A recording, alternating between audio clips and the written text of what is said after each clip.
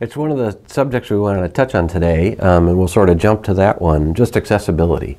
Um, the media has evolved so dramatically, and I've only been paying attention to this local part for the last six years, and how much the print world, the radio world, the TV world, the speaking world, the uh, written world um, in magazine form has evolved so dramatically.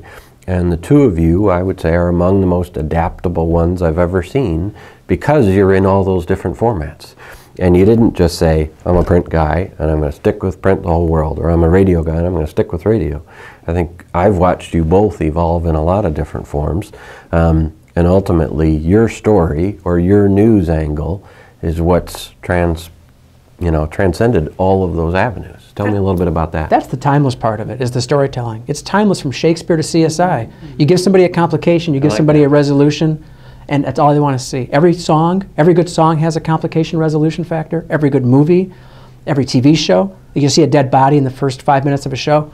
How to get there? How can we solve it? 55 minutes later, you have your answer. You go to bed that night, you feel good. Same with the good, good story. And I think it, it, it evolves. It doesn't matter if it's on Twitter or Facebook, my Casual Fridays show, a column. Tell me a good story. We like to pretend we're in the 21st century, but a lot of us are living, and that campfire has changed to a computer screen. That's the warmth we're getting from That's a it great now. point. What led you both to evolve into the multiple forms that you're in? I mean, you know, you might have started as a print reporter, but now you're in all those things. You might have started as a cartoon columnist, I then a print yeah. reporter, um, and now you're in all these other media. Um, what led to that? It's just fun and challenging. Actually, I just don't say no. That's like why I'm here today with you. When Chris Mahlmann says, you be at this round table, damn it. You be at this round table. I didn't say it like that. You I did twist your arm, but I didn't say it You like don't that. say no. Well, I don't say no. So somebody says you want to do a radio show, literally somebody says, "Hey, I heard you do a radio interview. Would you like to have a show of your own?" That's how I started. Yeah. Uh, okay.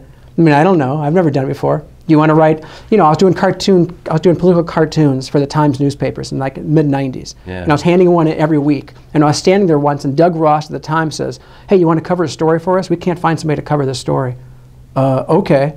No history, no background. I couldn't even type. I don't know what a fax machine was at that mm-hmm. point. Nothing at all. What's a lead? What's a nut graph? Nothing at all. They sent me to this mystical, magical place called Kouts, Indiana. I'm a Gary boy. I had no idea where Kouts was. And I covered this wonderful event called the Kouts Pork Fest. That was my first story I ever covered, the Pork Fest. You know, so I went down there with a big legal pad and a pen, my two kids in tow, and I was looking around, looking for an angle, looking for context, looking for something different. You talk to some people. Now you could write a festival coverage thing in your sleep, right, Mike? you don't even have to go to festivals. you know what, what they're going to say at these things. I have it all recorded, and I don't like bringing it to stuff because if they sell this, yeah, Jerry Davich's supposed to be. What do you feel about? Yeah. You even tensed up when I'm asking you. But You know, is, you went, uh, whoa, hold on a second. Yeah. What's your views on abortion? Tell me, you know, that kind of stuff. You can't do go out there and we want you to do a feature story on the fair and come back by three or four o'clock. You got to bang that story out in about an hour so it can get to print for the next morning. Things were a little bit different back then when I, you know, it feels like it was ages ago, but the way deadlines lifetime were, ago. you know, it's, uh, you know, you, you got to, you know, get that story done. So using a tape recorder back then would almost be, you know, you can't go back and listen to that sound. So you got to take really good notes. But I was just saying, when people are at a place they're having a good time, it's a fair. I mean, what news do you really want out of this? You know, so it would be difficult for me, and I, I can be, I you know, it can be a shy person, socially awkward, unless I'm there at a function for a an official capacity. I could be kind of a, you know. you know, Yeah, you go from the wall. you go from know? Mike to Michael Puente, Yeah, the you real know? Mike. Yeah. Real Mike's boring.